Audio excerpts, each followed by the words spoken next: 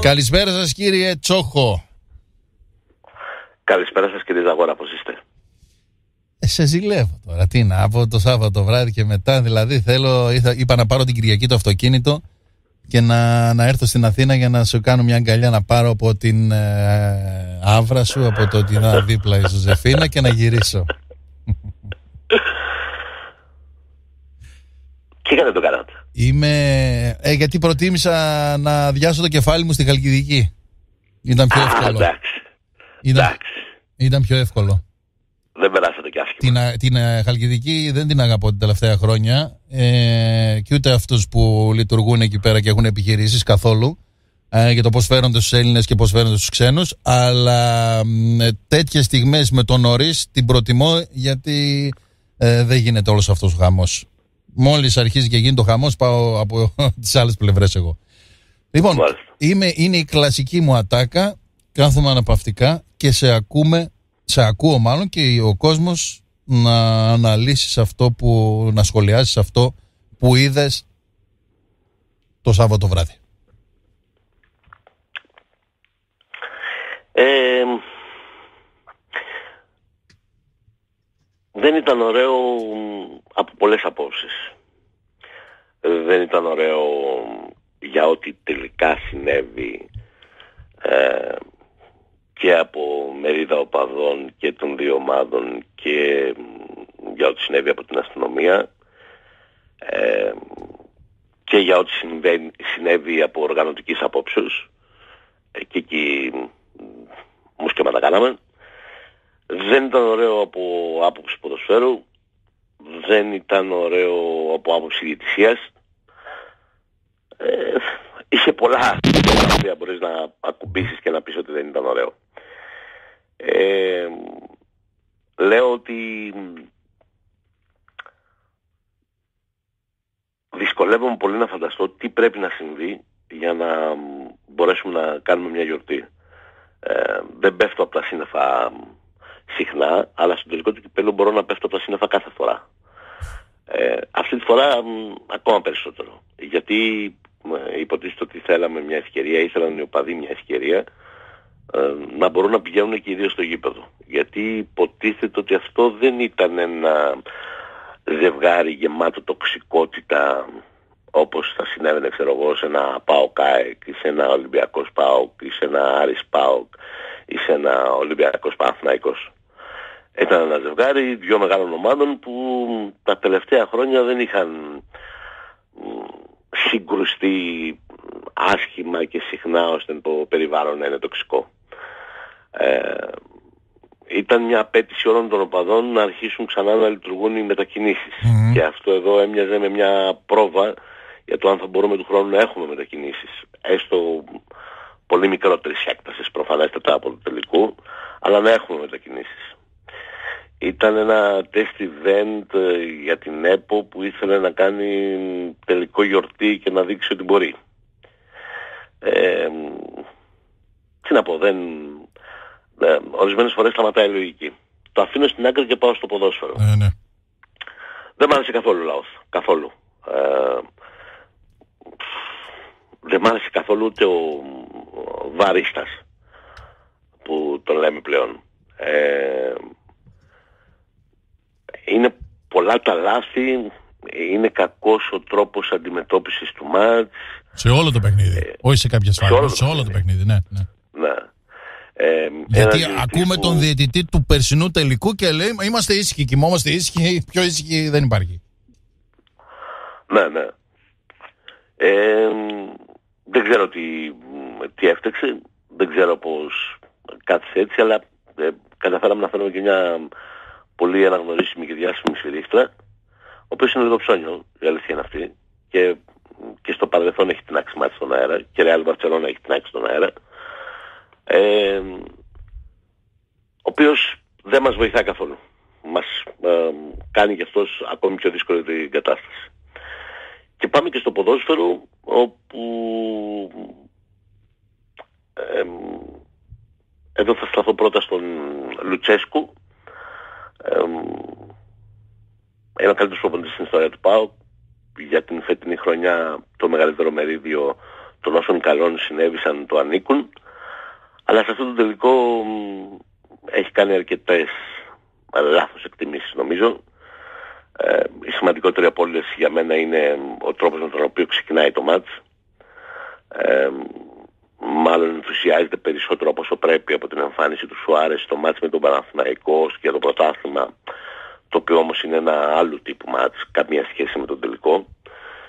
Του δίνει φανέλα βασικού αφαιρώντας από την αρχική ενδεκάδα του Τζιγκάρα, ε, τον οποίο αφήνει και εκτός αποστολής, ή το ΣΒΑΜ, αν ε, κάποιος άλλος προτιμούσε το ΣΒΑΜ, αφαιρώντας τον Αουγκούστο από το 10 και βάζοντάς τον στο 6, το οποίο ήταν φανερό ότι δημιουργήσε πολύ μεγάλο εκνευρισμό του Αουγκούστο. Ε, και χρησιμοποιώντας μια εντεκάδα που ναι μεν προσπάθησε να χωρέσει τις προσωπικότητες που είχε μέσα στον αγωνιστικό χώρο αλλά αποδείχτηκε και με τη γρήγορη αλλαγή του Βιερίνια ότι μάλλον ίσως να τον χρειαζόταν στην συνέχεια του μάτς και όχι στην αρχή mm. ε, γιατί προφανέστατα δεν μπορούσε να βγάλει 90 πόσο μάλλον 120 λεπτά ε, ακόμα και ο τρόπος με τον οποίο διαχειρίστηκε τις αλλαγές δεν έμοιαζε ο καλύτερος δυνατός, αλλά παρόλα αυτά ο Πάοκ χάνει ένα κύπελο γιατί στο τέλος δεν έβαλε την μπάλα μέσα. Και αυτό είναι ένα πρόβλημα που ταλαιπωρεί τον Πάοκ αρκετά όλη τη σεζόν. Ε, δεν πήρε ως επιθετική ομάδα που δημιουργεί τόσο πολύ τα γκολ που θα ήθελε από του Σέντερφορ του. Ε, και γιατί δεν είχε ο Λιβέιρα και γιατί ο Τσόλακ δεν είναι γκολτζής και γιατί ο Ακπομ κάνει πάρα πολλές δουλειές μέσα στο γήπεδο και η βελτίωσή του είναι πολύ σημαντική αλλά και αυτός δεν είναι ένας ε, killer center ε, και γιατί αυτή τη φορά η πίεση παρά το γεγονός ότι η διάθεση και ο τρόπος για να φτάσει στην εσωφάριση υπήρχε η πίεση του κάθε φορά όταν στραβώνει ένα μάτι να μπορώ να το επαναφέρω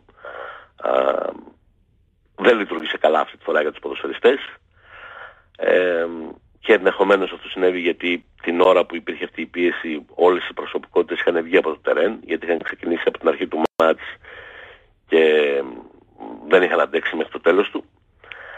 Ε, γενικά δεν ήταν, δεν ήταν ένα καλό κουτσάρισμα και αν απέναντι είχαμε μια εξαιρετική εμφάνιση του Παναθηναϊκού θα σου έλεγα ότι πώς να το πω, ήταν η στιγμή του, ήταν η χρονιά του να το πάρει αυτό το τρόπο. Ε, στο τελικό έκανε μια καταπληκτική εμφάνιση. Ο Παναθηναϊκός έκανε, ήταν σοβαρός, τελεία. Ε, ήταν πιθανός, ε, τελεία. Αλλά ε, ούτε την καλύτερη του φετινή εμφάνιση έχει κάνει, ε, ούτε το ποδόσφαιρό του ήταν τέτοιο που ήταν μη αντιμετωπίσιμο από τον ΠΑΟΚ ούτε κάποια έκπληξη εμφάνιση στο τερέν που δεν την υπολόγιζε και δεν μπορούσε να τη φανταστεί ο ΠΑΟΚ, ούτε κάποιους παίχτες σε, σε κορυφαία μέρα είχε καλά καλά και τα ατού του δεν τα είχε σε καλή μέρα. Δηλαδή ε, στην πραγματικότητα ο καλύτερος παίκτης του Παναθηναϊκού ήταν ο Κότσερας. Ε, ο Κότσερας και ο Ιωαννίδης. Ναι. Όχι ναι. ο Αλκινός, ο άλλος. Ναι, ο Φώτης. Ε, οπότε εδώ μπορείς να πεις ότι ήταν μια κακή βραδιά για τον uh, Λουτσέσκου. ακούω όλα αυτά που είπε και πολλά από αυτά έχουν βάσει ενώ μετά το τέλος του, του τελικου Ε, συμφωνώ ότι όλος αυτός ο σχολιασμός γίνεται για το ε, κότσερας προλαβαίνει στη γραμμή, κότσερας δεν προλαβαίνει στη γραμμή, αλλάζουν τα κείμενα. Αλήθεια είναι. ε, αλήθεια, ναι. Ναι, άλλωστε έτσι είναι και η τελική. Ε, τους παίρνεις, ε, παίζεις δεν παίζεις, ε, γίνεσαι ήρωας. Τους χάνεις, παίζεις δεν παίζεις, γίνεσαι αυτός που τους έχασε. Ε, ο Αταμάν ο αντιπαθητικός, ένα πόντο στον έναν, ένα πόντο στον άλλον, πήρε μια Ευρωλίγκα. Ναι. Γράφει ιστορία, γίνεται θρύλος της διοργάνωσης. Ναι, έτσι ακριβώς.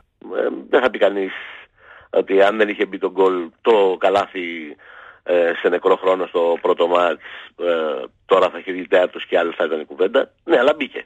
Τι να κάνουμε τώρα. Μπήκε βέβαια. Ε, τώρα, κατά την άποψή μου δεν θα άλλαζε πολλά στον ΠΑΟΚ ε, και στη χρονιά του αν έπαιρνε αυτόν τον τρόπο. Θα άλλαζε στην τροποθήκη του. Θα άλλαζε στην ιστορία του.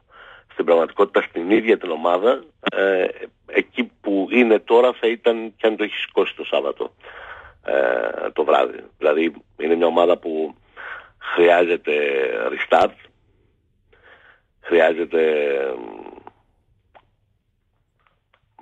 ανακαίνιση να πω, όχι χτίσιμο από την αρχή, αλλά σοβαρή ανακαίνιση, ολική ανακαίνιση, να ανταλλάξουμε όλα. Χρειάζεται να αλλάξουμε ηλεκτρικές συσκευές. Α, θέλει σοβαρή δηλαδή. Όχι λίγο το μπάνιο; Όχι λίγο το μπάνιο, ναι. ναι. Όχι λίγο το μπάνιο. Ε, και πρέπει να γίνει με έναν τρόπο που να κρατηθούν όλες οι ισορροπίες που προσπαθεί να κρατήσει και ο προπονητής και ο τεχνικός διευθυντής και το κλαμπ. Με έναν τρόπο δηλαδή που να μην φύγουν όλες οι παλιοσυρές που έφτιαξαν αυτή την πενταετία, χοντρικά το λέω πενταετία, αυτή την πολύ καλή, ενδεχομένως την καλύτερη από άποψη αποτελεσματικότητας ομάδα στην ιστορία του ΠΑΟΚ, αλλά να μην μείνουν όλοι, γιατί αρκετοί από αυτούς θα αποτελέσουν βαρύδια και θα μεγαλώσουν τόσο πολύ το ρόστερ που δεν θα επιτρέψουν τον ερχομό όσων πραγματικά χρειάζονται. Χρειάζεται να υπάρξει μια ισορροπία ανάμεσα στο να πάρουμε 23-24 ταλαντούχους με μεταπολιτική αξία ε, ποδοσφαιριστές. Προφανώς χρειάζεται να πάρει και τέτοιους ο ΠΑΟ και προφανώς χρειάζεται να μην κρίνει και το μέσο όρο ηλικίας του. Δεν πρέπει να πάρει μόνο τέτοιους. Ε, χρειάζεται να πάρει και δύο, τρεις πολύ πιο έτοιμους ε, ποδοσφαιριστές Χρειάζεται ισορροπία στο πώς θα χρησιμοποιήσει τα παιδιά από τις ακαδημίες την επόμενη σεζόν και σε τι ρόλο. Και δεν μιλάω μόνο για τον ε, Τσιγκάρα και τον ε, Λίρατζι ας πούμε, που OK, okay, καταλαβαίνουμε ότι θα παίξουν αρκετά. Και χρειάζεται και μια καλύτερη ισορροπία σε σχέση με την ποιότητα που έχει από τη μέση και μπρος. Έχει ένα έλλειμμα ποιότητας μεσοεπιθετικά σε σχέση με τον γκολ. Ε, φάνηκε πολύ περισσότερο στο δεύτερο μισό όταν έχασε τον καλό του εαυτό Ζιβκοβιτς και τα πολλά του γκολ και εκεί φάνηκε ακόμα περισσότερο. Ε, και φάνηκε ακόμα περισσότερο το τελευταίο δίμηνο όταν εκτός από τον Ζιβκοβιτς που είχε αρχίσει να έχει φθήνουσα πορεία ενδεχομένως κουρασμένος, ενδεχομένως δεφορμέ, όταν έπαψε να σκοντάρει και κατάπαυστα ο Κούρτιτς που θα συνέβαινε αυτό. Δεν θα μπορούσε ένας παίχτης που παίζει στο 8 να βάλει 30 γκολ γιατί αν συνέχιζε με τους ρυθμούς που σκόραρε μέχρι κάποιο σημείο της σεζόν και σκόραρε με τον ίδιο τρόπο και στα τελευταία 15 παιχνίδια, θα είχε φτάσει στο 30 γκολ. Ε, δεν περιμένεις από το 8 σου να βάλει 30 γκολ. Δεν έχει βρεθεί ακόμα το 8 που βάλει 30 γκολ σε καμία ομάδα. Οπότε στο τέλος της σεζόν, στα play-off, ε, στα μάτια του Μαρσέη, στο κύπελο, στο τελικό, φάνηκε αυτό. Ο, ότι αν δεν έχεις γκολ από τον Κόρτιτ σε αυτή την ομάδα και αν ο Ζίβκοβιτς είναι ντεφορμέ, η υπόθεση γκολ γίνεται μια πάρα πολύ δύσκολη υπόθεση. Ε, και αυτό είναι κάτι δεδομένο που στον ΠΑΟΚ πρέπει να το, να το εξετάσουμε πολύ σοβαρά σε σχέση με τους ποδοσφαιριστές που θα αποκτήσουν. Και δεν είναι και εύκολο, το καταλαβαίνω. Δηλαδή ο ΠΑΟΚ έχει τώρα Τσόλακ, ο ΠΑΟΚ έχει... Δεν ξέρω τι θα κάνει με τον Άκπομ, ε, το λέω γιατί είναι δανεικός και επιστρέφει στην ομάδα του, δεν ξέρω αν ε, ναι. θα θελήσει να τον κρατήσει ο Λουτσέσκου ή όχι. Δεν το θα λέω γιατί δεν θα μείνει, αυτόν είχε όλη τη χρονιά ως πρώτο Σέντερφορντ, θα μου πει ήταν δηλαδή Ολιβέρα, σωστά. Αλλά ο Τσόλακ εδώ ήταν το δεύτερο μισό και ο Άκπομ συνέχισε να είναι ο βασικός. Άρα έχουμε ένα δεδομένο ότι ο προπονητής για κάποιο λόγο τον προτιμάει. Ε, έχει δηλαδή δύο Σέντερφορντ και έναν που ε, πρέπει να αποφασίσει τι θα κάνει ε, μαζί του ε, δεν μπορεί να έχει πάνω από τρεις σεντερφόρ. Συνεπώς θα πρέπει να πάρει τη δύσκολη απόφαση ποιους από αυτούς ή ποιον έστω από αυτούς δεν θέλει ε, προκειμένου να προσθέσει έναν άλλο τύπου φόρ. Και προφανέστατα αν δεν θέλει τον, ή αν αποφασίσει τέλος πάντων κάτι στον άτομο, αυτός το πάρει θα πρέπει να έχει ταχύτητα. Γιατί οι άλλοι δύο δεν την έχουν. Αν αποφασίσει ότι δεν θα κρατήσει τον Τσόλακ ή τον Ολιβέηρα το αποκλείω, δεν θα αποκτήσει τον Τζόλα, τότε ναι, ο Τζιούμπα που διάβασα σήμερα ο Σέλουκ να λέει ότι η ιδανική ομάδα για αυτόν είναι ο Πάουκ, είναι μια, μια περίπτωση που την εξετάζεις. Ε, αυτά όμως θα ίσχυαν και ακόμα και αν δεν είχε προλάβει ο Κότσιρας πάνω στη γραμμή. Είχε πάει μπάλα μέσα. Είχε βάλει την κεφαλιά και δεν την είχε βρει με το αυτή ο Άκπομ στο τέλος του πρώτου ημιχρόνου. Όλα αυτά που συζητάμε δεν θα άλλαζαν και πολύ. Θα άλλαζε η ιστορία γιατί ο Πάκου θα έχει έναν τρόπο ακόμα ναι. στη βιτρίνα του, αλλά αυτό, τελεία. Σε σχέση με την επόμενη μέρα δεν θα άλλαζε, δεν θα άλλαζε τίποτα. Και είναι μια, ένα δύσκολο καλοκαίρι για όλους. Πραγματικά. Και για τους πέντε που διεκδίκησαν τα ευρωπαϊκά ειστήρια, τους τέσσερις που τα πήραν και το 10 που δεν τα πήρε. Για διαφορετικούς λόγους ο καθένας. Αλλά είναι καλοκαίρι δύσκολο για όλους. Γιατί οι δύο πρώτου πρωταθλήματος χρειάζονται σοβαρή ανακατασκευή και θα την επιχειρήσουν. Σοβαρή ανακαίνιση και θα την επιχειρήσουν. Λέω στο τέλος της ημέρας μπορεί να είναι και διψήφιος ο αριθμός των μεταγραφών που θα κάνουν και ο ΠΑΟΚ και ο Ολυμπιακός. Έστω και αν οι μισοί και περισσότεροι από αυτούς δεν είναι για τη βασική δεκάδα, αλλά είναι για το roster και το rotation. Ε, το να φτάσεις να κάνεις 7, 8, 10 μεταγραφές ένα καλοκαίρι είναι πάντα ρίσκι. Το να αλλάξεις ορισμένες από τις κολόνες της ομάδας την φετινή σεζόν, όπως ο Πασχαλάκης ή ο Μπίσης Βαραπομίνη είναι μείνει φαντάζομαι δεν θα είναι η κολόνα της ομάδας, ε, όπως ήταν φέτος, δεν είναι απλό. Το ίδιο ακριβώς ισχύει για τον Ολυμπιακό. Για τον Άρη ένα δύσκολο καλοκαίρι γιατί ε, πια θα υπάρχει η απέτηση καλό είναι να παίρνεις στο ευρωπαϊκό ειστήριο αλλά κάποια στιγμή πρέπει να μπαίνεις και στο αεροπλάνο να πηγαίνεις στους ομιλούς. Και το τέταρτο συνεχόμενο καλοκαίρι που δεν θα καταφέρει θα δημιουργήσει κλειδονισμούς. Οπότε ε, είναι απαιτητικό το καλοκαίρι. Και εκεί θα υπάρξουν αλλαγές σίγουρα στο ρόστερ. Ε, και εκεί θα φύγουν ποδοσφαιριστές. Και βέβαια είναι και δύσκολο καλοκαίρι γιατί δεν ξέρουμε τι μεταγραφές θα μπορεί να κάνει, τι ανανεώσεις θα μπορεί να κάνει. Περιμένουμε και αυτά τα, τα δικαστικά, διαδικαστικά για να δούμε πώς θα λειτουργήσει. Για τον Παναθηναϊκό επίσης είναι δύσκολο καλοκαίρι και θεωρητικά είναι ο πιο ευνοημένος, ο πιο κερδισμένος της φετινής χρονιάς γιατί τώρα πια τον έβαλε τον πύχη ψηλά με αυτό που έκανε φέτος για να πας καλύτερα του χρόνου πρέπει τι, να τερματίσεις τουλάχιστον δεύτερος και να ξανακατακτήσεις το κύπελο και να μπεις και στους ομίλους του Europa.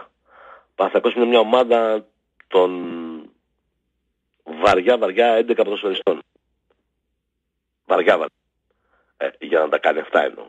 Ε, ναι. Οπότε δεν θα είναι εύκολο να... Χρειάζεται μια 11 μεταγραφών ο Παναθηναϊκός θα μου πεις αρκετοί από αυτούς θα είναι για το rotation. Ναι, σωστά, αλλά όταν μιλάμε για rotation γιατί ο Παναθηναϊκός θα έχει απαιτήσεις σε τρεις διοργανώσεις, δεν είναι απλό. Είναι rotation παικτών που θα χρησιμοποιηθούν ε, πάρα πολύ. Ε, οπότε ο Παναθηναϊκός θέλει και ταυτοφύλακα, θέλει και στόπερ, θέλει και δεξιμπάκ, θέλει και αριστερό μπακ, θέλει και half, πιθανότατα δύο. Θέλει και δύο αναπληρωματικούς extreme γιατί αυτοί που έχει οι βασικοί μένουν, οι αναπληρωματικοί φεύγουν και οι δύο. Και θέλει και center forward, τουλάχιστον ένα. Ε, όπως ακριβώς το λέω, θέλει μια εντεκάδα μεταγραφών. Και έχει και την πίεση ότι εντάξει το τέταρτο και κύπελο το κάναμε και πέρυσι. Αν θέλουμε να δείξουμε πρόοδο πρέπει να είναι τουλάχιστον δεύτερος και κύπελο. Και φυσικά Παναθηνάικος και όλα τα σχετικά, άρα και ο Μίλους. Ε, τίποτα από όλα αυτά δεν είναι εύκολο. Ε, τώρα για την ΑΕΚ φαντάζομαι ότι γιατί είναι ένα πολύ δύσκολο καλοκαίρι. Ε, χρειάζεται να το, να το αναλύσω ε, περαιτέρω. Και βέβαια είναι ένα καλοκαίρι με πολύ ενδιαφέρον. Νομίζω ότι το καλοκαίρι θα φύ... μας δείξει... Φύγε εσύ, Ελασία, έχει πολλά. Ναι. Έχει πολλά. Και το καλοκαίρι νομίζω θα μας δείξει ε, τι θα συμβεί ε, του χρόνου το χειμώνα. Την επόμενη σεζόν. Ναι. Το λέω αυτό γιατί θυμάμαι ένα κείμενο που έγραφα πριν αρχίσει το πρωτάθλημα το περασμένο καλοκαίρι και μιλούσα για αυτούς τους πέντε και πέρα από τις αγωνιστικές επισημάνσεις ε, κάποια στιγμή κατέληγα στο συμπέρασμα ότι θα μου κάνει εντύπωση φέτος ο Παναθηναϊκός να μην βγει η Ευρώπη. Από τα συμφραζόμενα όμως του κειμένου, πολλοί από τους χρήστες αναρωτιόντουσαν από κάτω, ρε φίλε, και έτσι όπως μας τα έχεις πει για Ολυμπιακό, ΠΑΟ, ΑΕΚ και Άρη, δεν γίνεται να μην ε, βγουν Ευρώπη. Καλά μας τα έχεις πει για κάποιους, για τους περισσότερους από αυτούς, σε σχέση με πέρυσι. Ε, οπότε πώς, είσαι, πώς λες ότι θα σου κάνει μεγάλη εντύπωση αν δεν βγει Παναθηναϊκός Ευρώπη, δηλαδή ποιος θα μείνει απ' έξω; Ε, υπάρχει πάντα κάποιος που πατάει. Που το καλοκαίρι μπορεί να μην το δεις, να μην το καταλάβεις. Ε, ε, ήταν η ΑΕΚ αυτή που την πάτησε. Ε, την πάτησε γιατί άλλαξε πολύ γρήγορα προπονητή, γιατί άλλαξε τρεις προπονητές, γιατί δεν έγινε ποτέ ομάδα, γιατί δεν έγινε ποτέ group, γιατί η άμυνα της ε, όχι απλώς δεν βελτιώθηκε αλλά χειροτέρεψε, για ένα σωρό από ε, λάθη που συνέβησαν μέσα στη σεζόν. Γιατί ενώ έβλεπε το φαραδό της να έρχεται δεν ενισχύθηκε καθόλου το Γενάρη, δεν έκανε ούτε μια μεταγραφή, ε, για χίλιους δύο λόγους που δεν μπορείς να τους δεις το καλοκαίρι. Πάντα θα υπάρχει κάποιος που θα την πατάει. Θα μου πεις του χρόνου βγαίνουν 5 ευρώ που ποτέ μπορεί να μην την πατήσει κανείς. Δεν είμαι βέβαιος. Δεν μπορεί να την πατήσει κάποιος και να βρεθεί εκεί όφη, να βρεθεί εκεί ο Αστέρας Τρίπολης. Δεν είναι δεδομένο ότι ε, η ΑΕΚ, ο Παναθηναϊκός, ο Άρης, ο, οποιοδήποτε τέλος πάντων θα βγει σώνει και καλά ε, πέμπτος. Έτσι είναι. Λοιπόν, έχουμε πολλή δουλειά αυτή την εβδομάδα. Πάρα πολλή δουλειά. Καταλαβαίνω. Και κάθε μέρα θα έχουμε εξελίξεις. Σας ευχαριστώ πολύ, κύριε Τσόχο. Να είστε καλά, καλή συνέχεια. Να είστε καλά.